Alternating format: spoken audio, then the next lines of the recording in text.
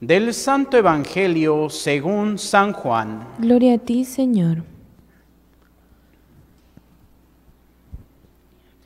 En aquel tiempo Jesús se retiró al monte de los olivos y al amanecer se presentó de nuevo en el templo, donde la multitud se le acercaba, y él sentado entre ellos, les enseñaba. Entonces los escribas y fariseos le llevaron a una mujer sorprendida en adulterio, y poniéndola frente a él le dijeron, Maestro, esta mujer ha sido sorprendida en flagrante adulterio. Moisés nos manda en la ley apedrear a estas mujeres. ¿Tú qué dices? Le preguntaban esto para ponerle una trampa y poder así acusarlo. Pero Jesús se agachó y se puso a escribir en el suelo con el dedo. Como insistían en su pregunta, se incorporó y les dijo, aquel de ustedes que no tenga pecado, que le tire la primera piedra. Se volvió a agachar y siguió escribiendo en el suelo. Al oír aquellas palabras, los acusadores comenzaron a escabullirse uno tras otro, empezando por los más viejos, hasta que dejaron solos a Jesús y a la mujer que estaba de pie junto a él. Entonces Jesús se enderezó y le preguntó, Mujer, ¿dónde están los que te acusaban? ¿Nadie te ha condenado? Ella le contestó, Nadie, Señor. Y Jesús le dijo, Tampoco yo te condeno. Vete y no vuelvas a pecar. Palabra del Señor. Gloria a ti, Señor Jesús. Por la lectura del Santo Evangelio sean perdonados nuestros pecados. Amén. Nos sentamos brevemente. Queridos hermanos, ahora pues tenemos, por así decirlo, pues esta contingencia. Y pues por ahí dicen que unos que es muy mortal, otros dicen que no, que es muy contagiosa, otros que no. Lo cierto es de que no debemos dejar caer nuestra fe. Recordemos eh, precisamente eh, esto que el Señor nos invita.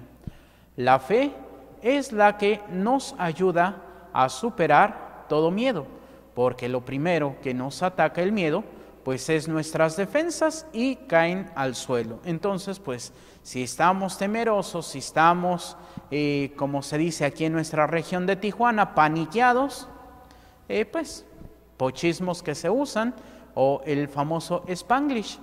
Eh, viene de prank, eh, que es eh, en susto en inglés, y pues el terminar en español, el paniqueado. Pero pues si nosotros estamos así, es cuando viene precisamente la muerte. ¿Y por qué lo digo en este momento? Y van a decir, Padre, pero ¿qué tiene que ver con el Evangelio del día de hoy? Bueno, pues mucho y también con la primera lectura. Primero, podemos partir desde la casta Susana, así se le llama a este pasaje que escuchamos en la primera lectura.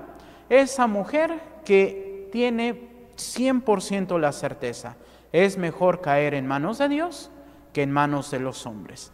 Y ella tiene su fe, sabe que el Señor la salvará. Y pues de ahí se eh, toma precisamente pues la decisión de mejor dejarse acusar por estos dos viejos en maños, perdón, en años y mañas. ¿Y cuántas veces nosotros podemos también ser como esos viejos, como esos eh, ancianos que tendrían que ser el modelo del pueblo? Pero cuántas veces nosotros nos dejamos vencer, cuántas veces nosotros también somos parte de la corrupción, como podemos decirlo fácilmente. Pues estos dos hombres eran unos corruptos. Y pues aquí podemos tomar desde el término corrupción del Papa Francisco. El corrupto es el que vive en el pecado y no quiere dejar eh, su pecado. Es como, por ejemplo, en, antiguamente se utilizaba eh, para los que eran herejes y no querían mm, dejar su herejía, pues se llamaban heréticos. ¿Por qué? porque estando mal y muchas veces sabiendo que estaban mal, pues permanecían en su error. Esa es la diferencia entre el hereje y el herético. ¿Y cuántas veces nosotros podemos mantenernos en nuestros errores y saber que estamos haciendo mal?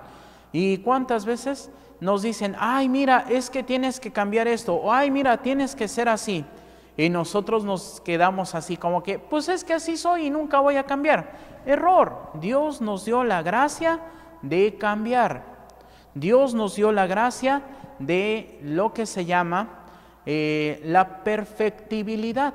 ¿Qué significa esto?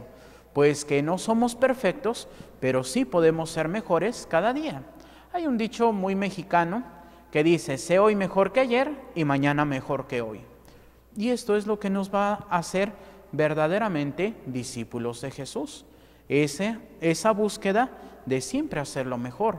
Pero cuando nos estancamos o cuando no queremos cambiar, entonces nos volvemos corruptos como esos dos hombres que teniendo pues toda la ventaja, pues un anciano en tiempos del Señor y sobre todo pues eran del consejo de los ancianos, del llamado Sanedrín o como lo llamaban los romanos, el Senado, pues ahora vemos que en nuestros gobiernos pues hay senadores que ni siquiera han terminado la prepa, pero bueno, eh, tendrían que ser los hombres sabios y pues ahora podríamos decir también las mujeres sabias que pueden dirigir un gobierno.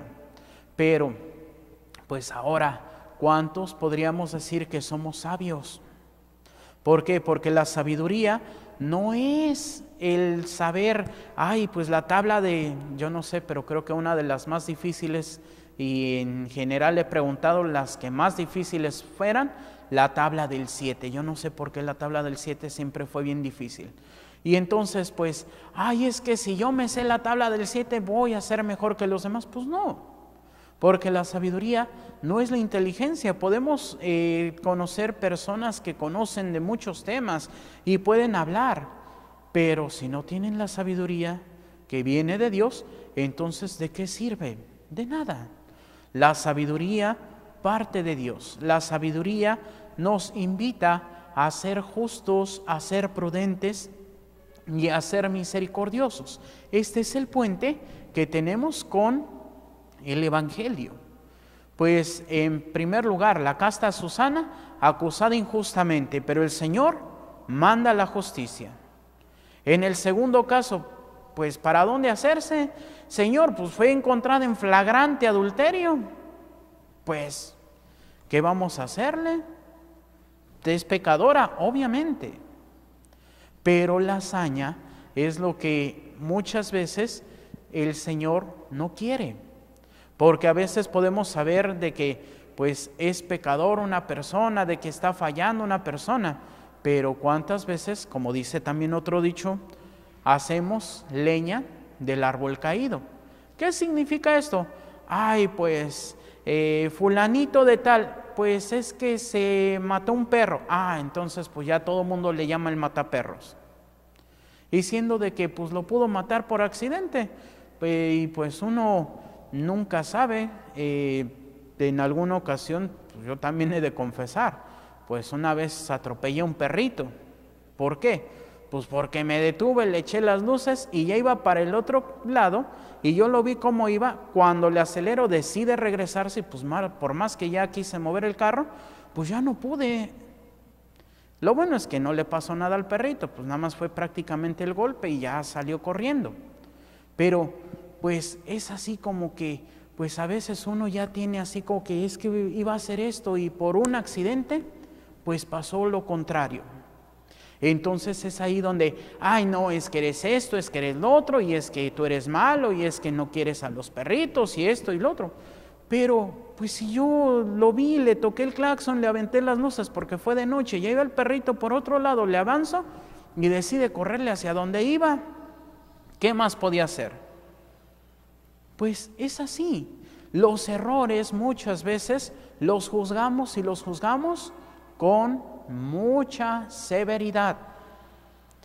Pero cuántas veces cuando nosotros somos los de los errores, pues queremos poner todas las justificaciones habidas y por haber, y si no existen hasta las inventamos.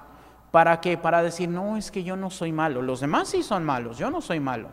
Ya estamos como dicen eh, un chiste realmente, que pues resulta que iba una persona manejando y de repente ve que viene un carro en sentido contrario y de repente ve otro que viene en sentido contrario y así empieza a ver que vienen un montón de carros en sentido contrario y prende el radio y le toca que están las noticias. Y agarran y dicen, no, pues señores, no vayan por esta calle porque hay un loco que va manejando en sentido contrario. Y él dice, ¿uno? Muchos. Pues sí, porque el que va en sentido contrario era yo. Entonces yo voy a justificar, no, yo no voy mal, los demás son los que van mal. Cuando a todas luces estamos mal. Entonces ahí es cuando, pues sí, nosotros queremos ser misericordiosos de manga ancha pero cuando mi hermano se equivoca, cuando mi hermano tiene un problema, entonces sí queremos que lo juzguen con todo el peso de la ley. Pues eso no es misericordia. Eso no es el plan de Dios. El plan de Dios es aprender verdaderamente a ser misericordiosos. ¿Mi hermano falló? Sí. ¿Necesita su corrección? Sí. Pero tampoco, pues ensañarnos. Es como, por ejemplo, cuando queremos, eh, o bueno, un caso que sucedió hace algún tiempo, pues un bebé que habían secuestrado, que se lo arrancaron de la mano de la mamá, y pues resulta que se buscó y a los días apareció muerto en un lote baldío. Y pues bueno, la mamá nunca contó que había cámaras de seguridad que la vieron pasando con el niño y luego como si nada sin el niño. Y pues resulta que pues tuvo un, el niño pues un pequeño problema que pues han tenido varios niños, pero por eso hay que estar al pendiente de los bebés. Eso que le llaman la broncoaspiración, que si no le sacas el, el aire a los niños después de que comieron, si los acuestas a dormir, pues sale el erupto, pero muchas veces sale con la lechita. Y entonces, ¿qué pasa? Pues los niños se ahogan. Esto fue lo que le pasó.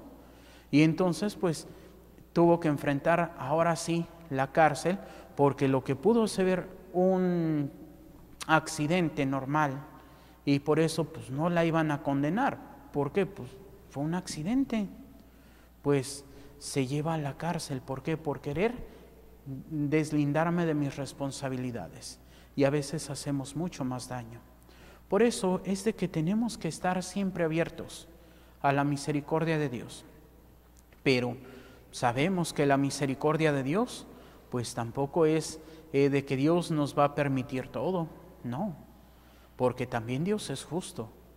La justicia y la misericordia no están peleadas, porque a veces pensamos, ay no, pues es que yo voy a pecar, al cabo Diosito me va a perdonar porque es bien misericordioso.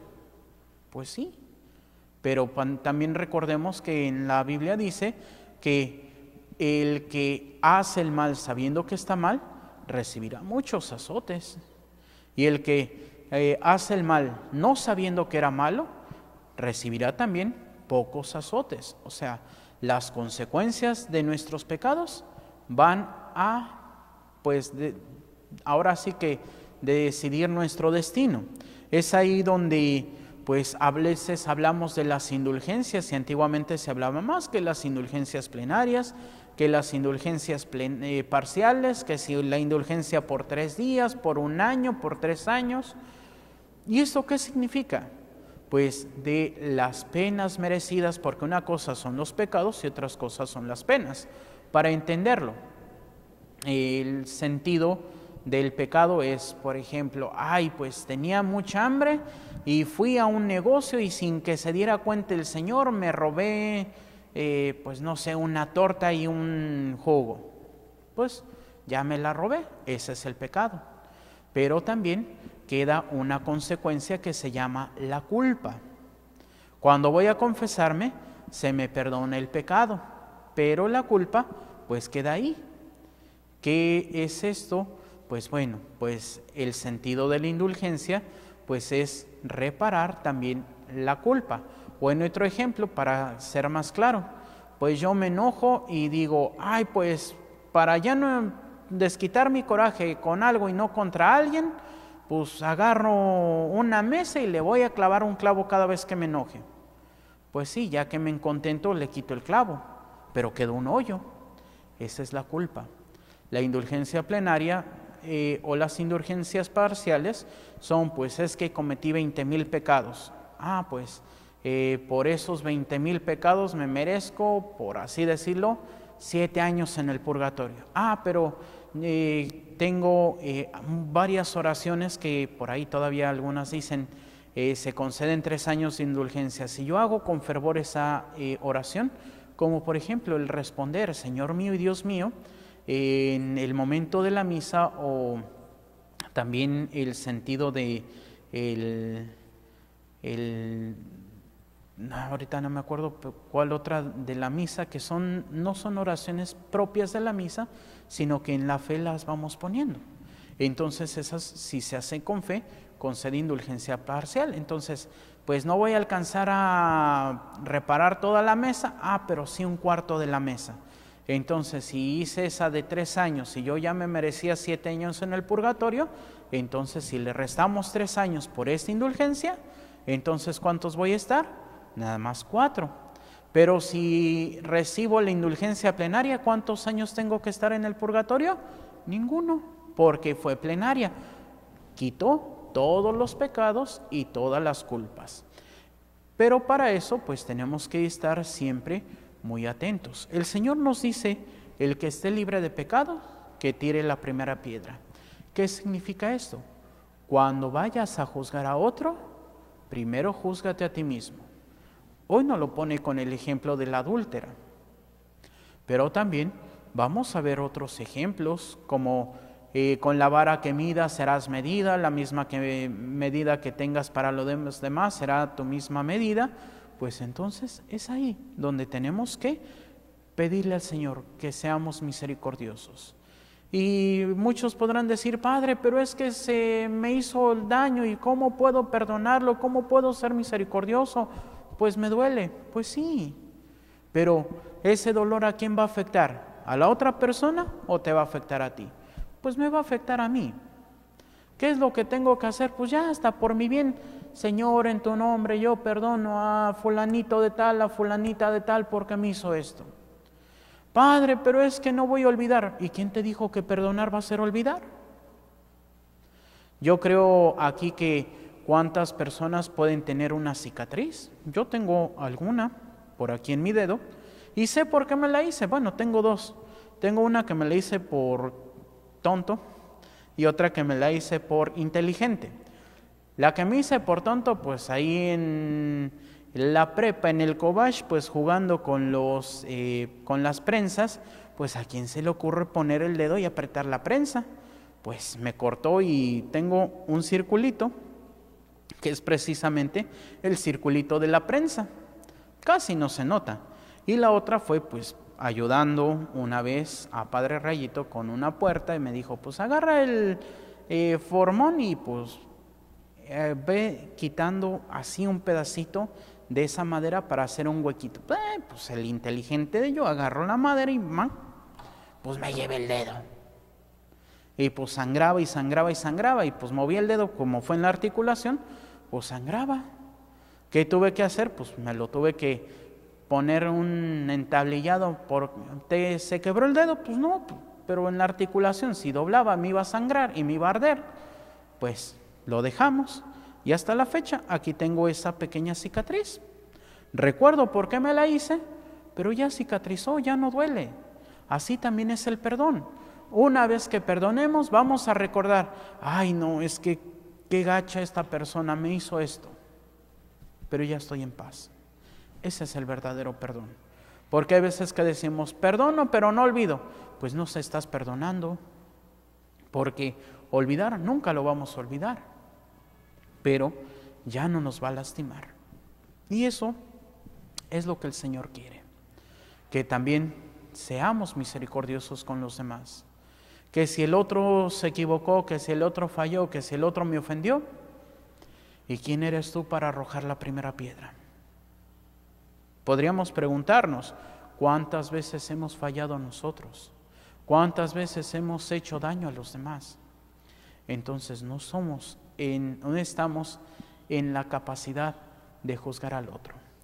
Y por ahí también San Pablo dice, el que juzga a su hermano se hace juez de su hermano y solamente Dios puede ser el juez. Entonces, pidámosle al Señor que nos dé esta gracia de ser misericordiosos, que nos dé esa gracia de aprender a justificar a nuestros hermanos, no juzgarlos, justificarlos. ¿Cuántas veces hasta manejando podemos ver que se nos meten todos locos y tenemos dos actitudes, como pues hay personas que se les metieron y pues le aceleran para empezar a metérsele al otro. ¿Qué podemos conseguir? Un accidente. Pero si se te meten y así como que, ay, pues vete, tienes prisa. ¿Te hizo algo porque se te metió? Pues no. Tal vez te enojaste, tal vez le gritaste, pero ¿para qué pelearte? ¿Para qué provocar algo más? Ser misericordiosos. Y eso el Señor nos lo tendrá siempre en cuenta. Por eso pidamos al Señor el don de la misericordia para poder vivir de acuerdo a su santa voluntad. Que así sea para gloria de Dios Padre, Hijo y Espíritu Santo. Amén. Nos ponemos de pie y hacemos nuestra oración de Padre Carlos de Foucault. Padre, me pongo en tus manos, haz de mí lo que quieras. Sea lo que sea, te doy las gracias. Estoy dispuesto a todo, lo acepto todo, con tal de que tu voluntad se cumpla en mí y en todas tus criaturas. No deseo más, Padre, te confío mi alma. Te la doy con todo el amor de que soy capaz porque te amo y necesito darme a ti, ponerme en tus manos, sin limitación, sin medida, con una confianza infinita, porque tú, Señor, eres mi Padre. Amén. Nos sentamos y continuamos con nuestra celebración.